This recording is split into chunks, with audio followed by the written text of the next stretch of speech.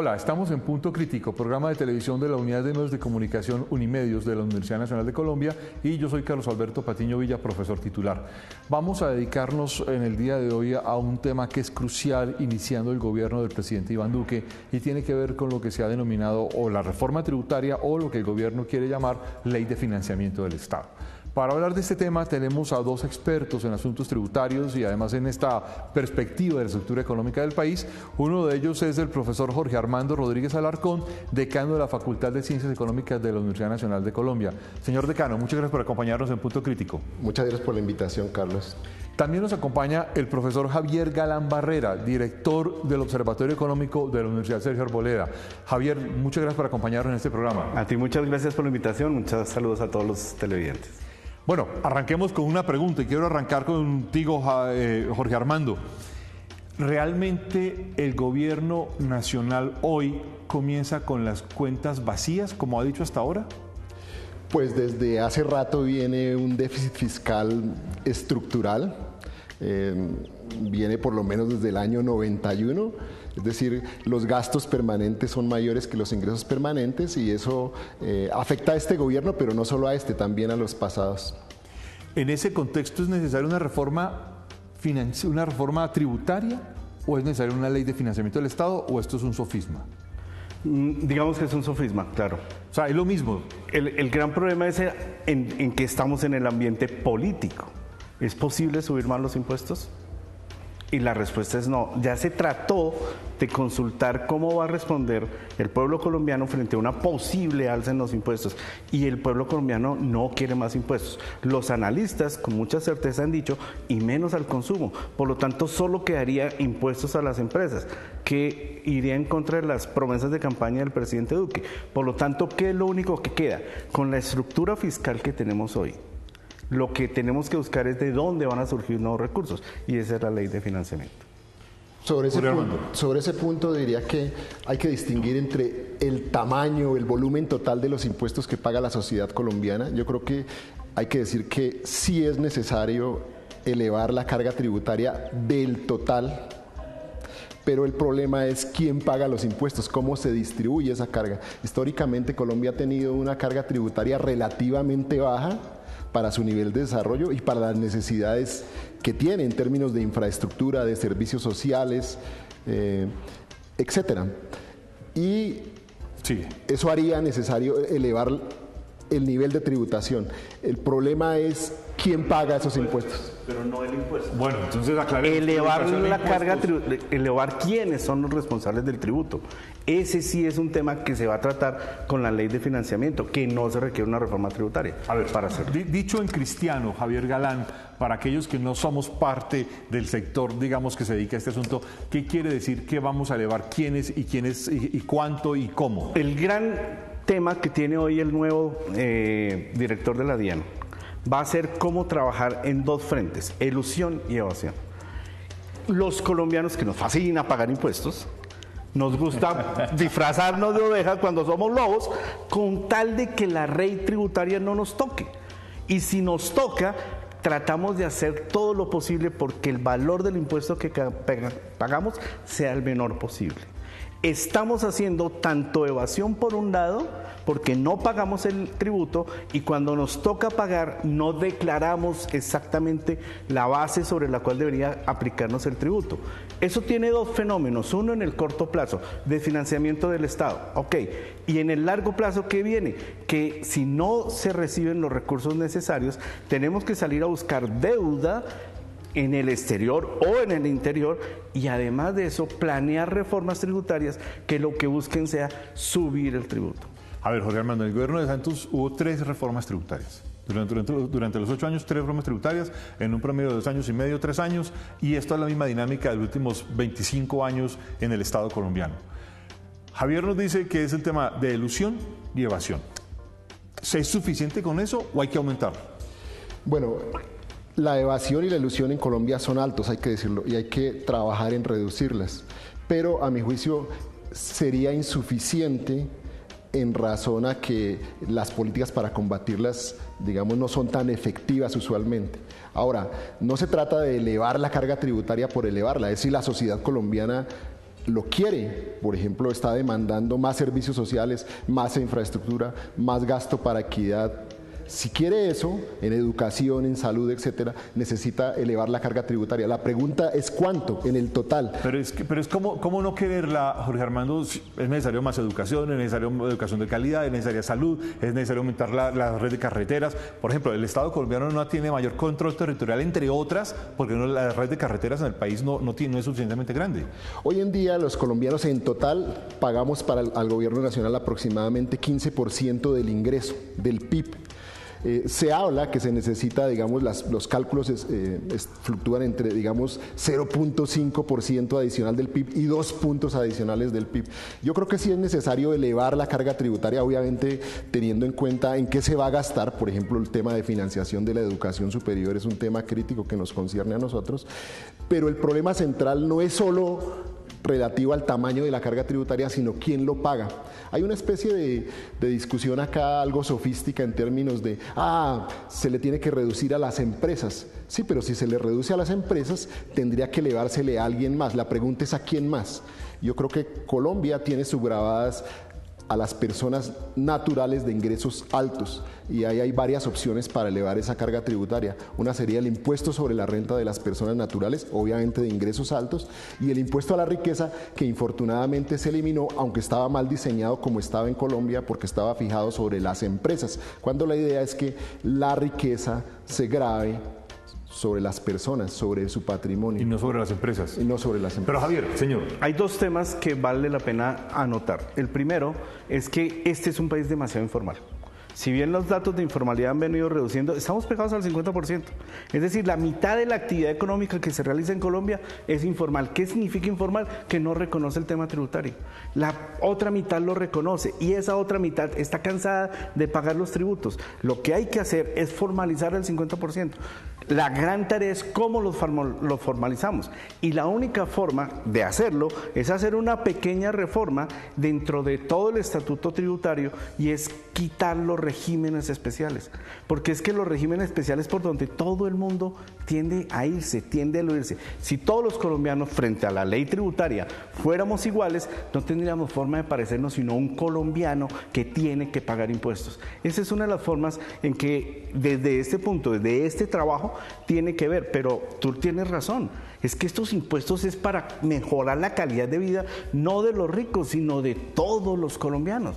Y por lo tanto, todos los colombianos, incluyendo los pobres, deben entender de que una sociedad se conforma cuando todos trabajamos bajo un mismo objetivo no una parte de la población trabajando a ver si los demás logran salir de la extrema pobreza.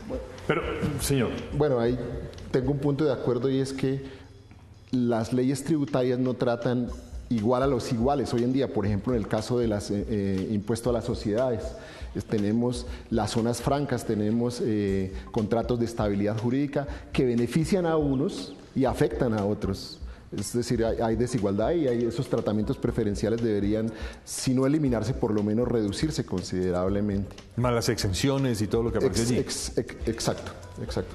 Si, si habría que aumentar la base y habría que aumentar los que aumentar la base tributaria a sectores que no pagan lo que deberían pagar más, ¿cuáles deberían ser esos sectores? A mi juicio, en el caso de las empresas, ya lo mencioné, las zonas francas, reciben un tratamiento preferencial, especialmente aquellas que no exportan, tienen tarifas más bajas que las que están por fuera de la zona franca y es un privilegio recibir ese tratamiento. Los contratos de estabilidad jurídica, en general las empresas tienen más opciones de reducir su carga tributaria vía beneficios tributarios, vía deducciones, excepciones, ahí hay mucho que, que mejorar. Eh, está la discusión también de incrementar la base grabable del IVA vía incorporando los bienes de la canasta familiar, pero a mí me parece que ese sí no es el camino apropiado por los efectos que tiene sobre las personas de menores ingresos, que son las que terminan pagando proporcionalmente más del impuesto por grabarse bienes que tienen una alta participación en sus gastos de consumo. Pero aumentar los impuestos, señor. Yo le diría a un sector en donde sí hay que trabajar y es en la cadena productiva, el intermediario hace que el precio del productor al precio del consumidor final se encarezca demasiado. Ese valor agregado que genera esa cadena está controlada por un gremio que se llama los transportadores terrestres. En Colombia no hay otra forma de transportar en Colombia carga, sino a través de las carreteras terribles que tenemos. Esos señores sufren mucho, claro, porque es que son muchas horas manejando, pero no reconocen impuestos. Por lo tanto, no existe una forma en que el Estado pueda medir cuál es ese valor agregado. ¿Cómo es que ellos están haciendo que el precio del productor al precio que paga el consumidor final aumente en forma desproporcionada porque ellos no están reconociendo que están pagando un impuesto? Por ejemplo, el IVA. Hoy leía que al transporte aéreo sí se le cobra IVA, pero el transporte terrestre no. ¿Qué significa pagar el IVA? El IVA posiblemente tenga un impacto que va a aumentar los precios, sí, sí, sí, pero entendamos que lo más importante que va a ocurrir es que esas personas van a tener que reportar información, declarar la información, mostrar qué es lo que están haciendo y con base, cuando conozcamos esa información, podemos diseñar una mejor política dirigida a esos sectores. Quedo mm, entre confundido y muy preocupado. Por una razón, Jorge Armando, es que eh, eh, de, hecho entonces si uno va a grabar la canasta familiar, pero además los transportadores no pagan, eh, si los transportadores no pagan IVA, eh, estamos, digamos, muy, muy enloquecidos, eh, porque muchos sectores han dicho que aumentar eh, el impuesto a la canasta familiar es un impuesto regresivo, castiga a los más pobres, es inequitativo frente a los demás altos ingresos y además castiga a una serie de sectores importantes. Pero a la vez has dicho que hay dentro del mismo sector empresarial hay empresas que pagan, que no pagan, que tienen extensiones, que tienen tratamientos diferenciales, incluso empresas no exportadoras tienen tratamientos muy diferenciales en esa perspectiva y tenemos el tema del transporte. De nuevo, sectores específicos a los que tendríamos que cobrarles. Ya dijiste los de altos ingresos, las empresas. Pero además se viene diciendo que muchos sectores de clases medias e incluso sectores, eh, digamos, más eh, eh, de, menos ingresos tendrían que aumentar su base tributaria. Es lo que venimos viendo año a año, que cada vez se le exige a muchas más personas que declaren renta. ¿Quiénes deberían...? Pues a mí no, yo no soy partidario en general de hacer impuestos para este sector o para esta actividad específica. Deben ser, digamos, generales, más universales, si se quiere. Lo que sí se necesita en Colombia y que digamos, no se ha logrado hasta el momento es cómo grabar las los ingresos altos, la riqueza. Y eso hay diferentes formas de hacerlo. Lo que pasa es que no, no se ha querido hacer o no se ha podido hacer, por ejemplo, vía el impuesto sobre la renta personal, sobre todo con el uso de tarifas progresivas altas para los ingresos altos, el impuesto a la riqueza, como digo, a nivel de las personas eh, naturales. En el caso de las empresas se podría, digamos, eventualmente reducir la tributación, pero esa reducción de tributación al nivel de las empresas tiene que ser compensada en otra parte, de manera transversal, con una cosa que se llama grabando la capacidad de pago de manera progresiva. Y la tributación progresiva tiene dos instrumentos que se han utilizado en Colombia eh, bastante, que son, como lo digo, el impuesto sobre la renta personal y el impuesto a la riqueza. Pero Javier, a pesar de todos estos esfuerzos y toda esta manera de hacerlo, hay tres cosas que son muy preocupantes. Una, que siempre se nos promete una reforma tributaria estructural y aparecer ninguna es estructural. Todas son coyunturales, sacando el cuerpo a los primeros principales. Luego viene el, hueco fiscal, en qué nos gastamos dinero y en qué votamos el dinero.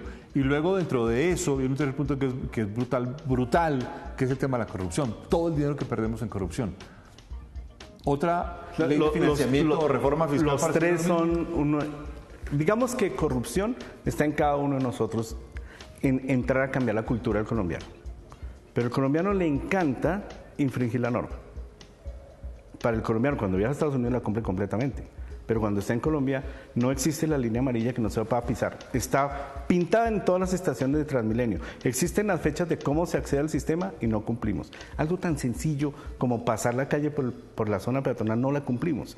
Segundo, tú has dicho un tema que es muy importante y es que el gobierno, y, no te estoy diciendo de este, sino los dos de Santos y los dos de Uribe, nos deben una reforma eh, tributaria estructural. Pero ¿qué significa estructural?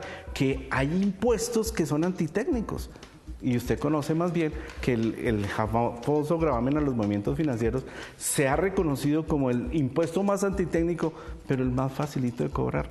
Y eso ha, ha hecho y ha generado un fenómeno y es que al colombiano le huye a pagar el gravamen a los movimientos financieros, el famoso 4 por mil, ¿cierto? Y por eso entonces manejamos nuestras cuentas con dinero en efectivo, así el de la moto pueda pasar a, a cogernos cuando hacemos los retiros gigantescos. A cobrar su impuesto. Exactamente.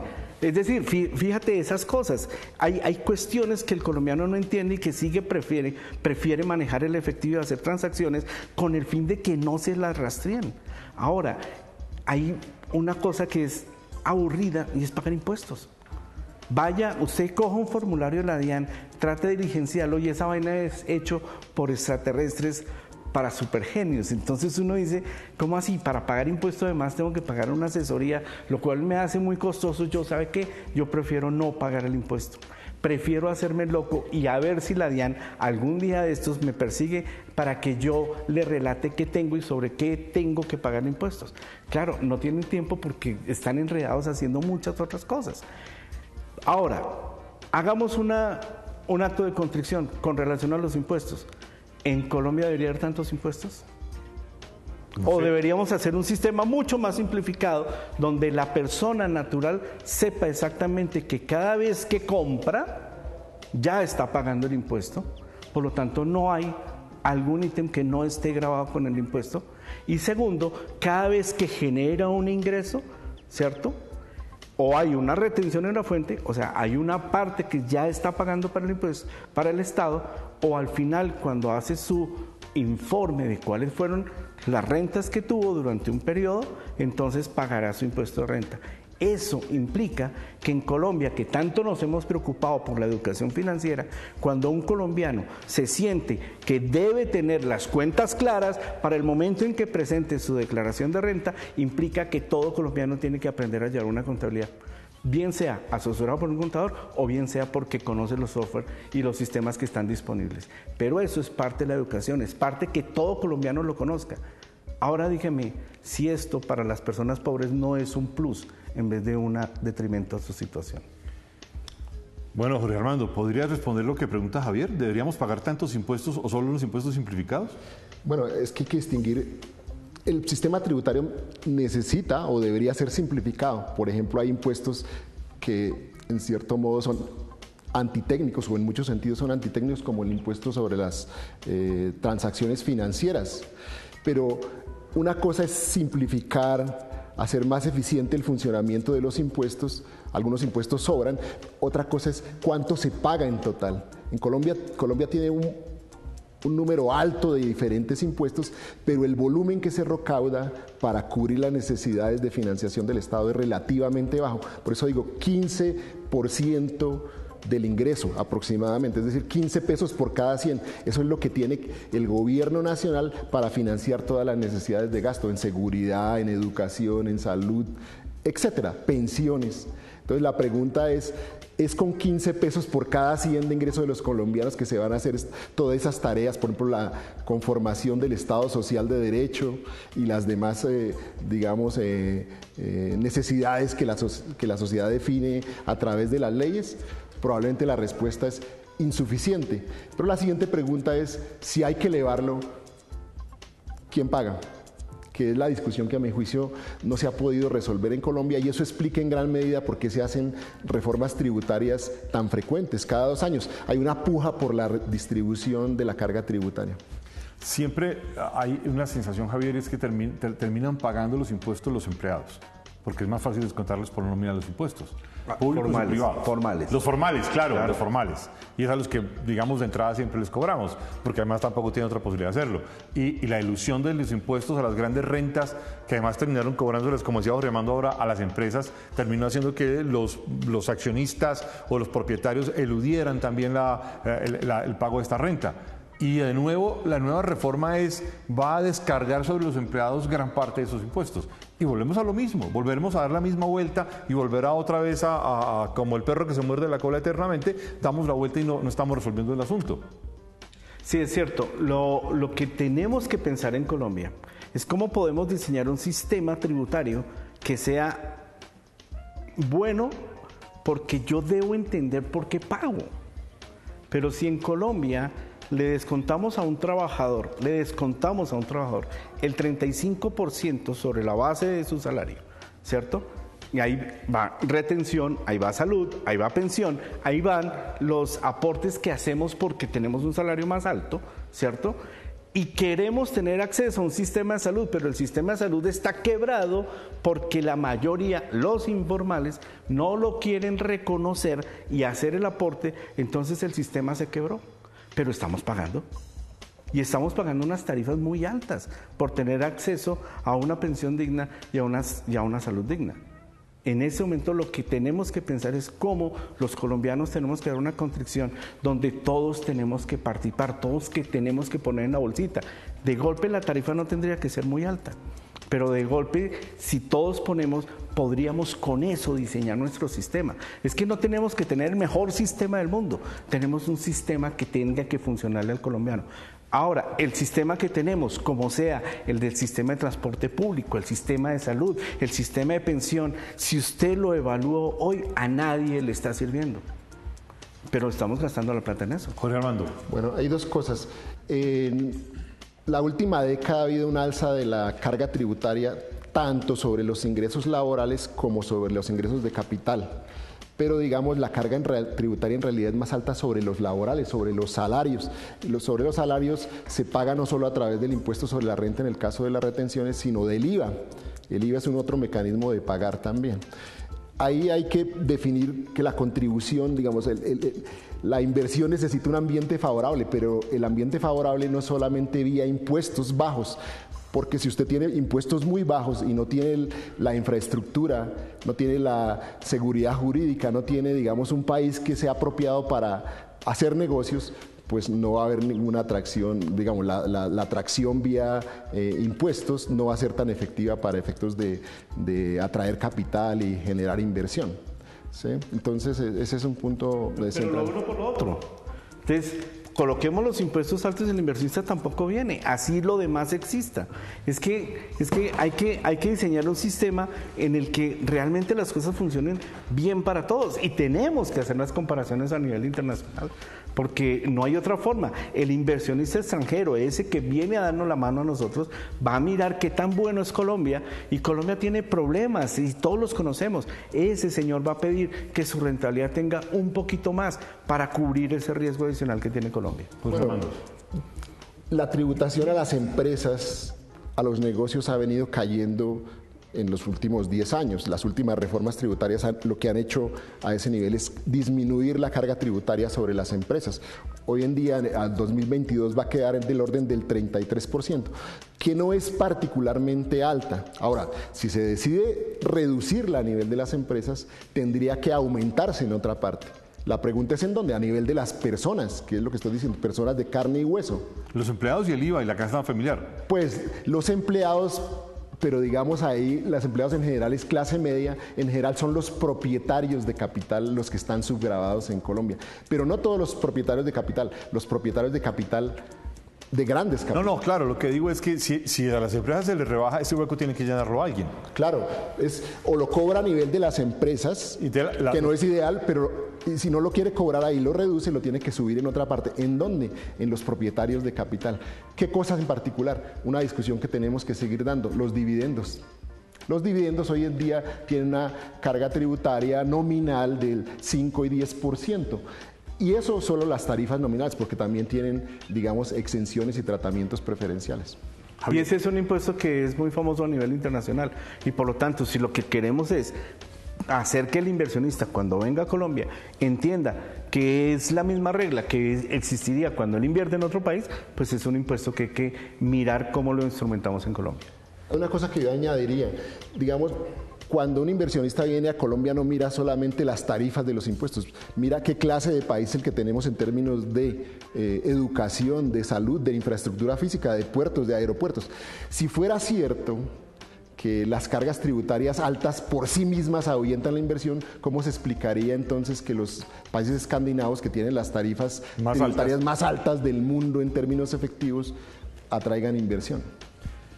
Una pregunta solo para respuestas muy cortas, de 10 segundos. ¿Esta reforma tributaria o ley de financiamiento de nuevo fracasará? Fracasará. Pues para empezar, el ministro Carrasquilla ha dado puntadas de en qué sentido va la reforma tributaria, pero estamos esperando que digan exactamente el contenido. Ahora, el clima político no es favorable y uno, digamos, no es favorable para, por ejemplo, mejorar la equidad de la tributación. Tal vez es favorable para la reducción de las cargas tributarias de las empresas sin compensarlo en otro lado, que sería, digamos, en ese sentido un fracaso. Es, señor. Dos cosas. Primero, el ministro ha dicho que el presupuesto está financiado para cumplir con las obligaciones sociales del Estado. Por lo tanto, requiere hacer tres cosas. La primera, hacer un ahorro en el corto plazo en el gasto público. Es decir, vamos a mirar en dónde se puede cortar gasto público, cómo lo hacemos. Y lo que otro viene en el largo plazo, una racionalización del gasto. No podemos seguir teniendo un Estado que gaste más de lo que recibe. Segundo, lo que tenemos que hacer nosotros es luchar contra la ilusión, luchar contra la evasión. Segunda gran eh, propuesta que hace el ministro en términos de eh, cómo hacer para recuperar mejores ingresos. Y la tercera es, ¿de dónde van a salir nuevos ingresos? Si no le puedo cargar impuestos a más a las personas, si no le puedo cargar más impuestos a las empresas. Ya le preguntaron, ¿va a vender Ecopetrol? No fue muy certero en decir eso no se va a tocar. Es posible que saquemos una nueva emisión de otro paquetico de 10% de, de acciones de Ecopetrol y se la pongamos al público en el momento en que se puede vender Ecopetrol porque está en muy buen nivel en, en valor de, en el precio y eso implicaría una entrada al Estado importante que lo que tiene que compensarlo es con los ingresos que va a dejar de recibir porque Ecopetrol es el gran aportante en el país. Segundo, tenemos que tener otros grandes aportantes en el país mejores aportantes, otras empresas, otros sectores que se dinamicen. Y ahí está la propuesta del, presidente. El presidente lo que quiere decir es estimulemos al inversionista para que cree ese otro foco generador de ingresos tributarios a partir de una inversión en la creación de nuevas empresas. Bueno, hemos llegado al final de punto crítico hablando de reforma tributaria o ley de financiamiento del Estado, llámenla como quieran, que para parecerle lo mismo, con dos invitados muy importantes. Profesor Jorge Armando Rodríguez, muchas gracias por acompañarnos en punto crítico. Gracias por la invitación. Profesor Javier Galán, muchas gracias por estar con nosotros en la Universidad Nacional. Encantado de estar aquí. Los esperamos en una próxima emisión. Muy amables.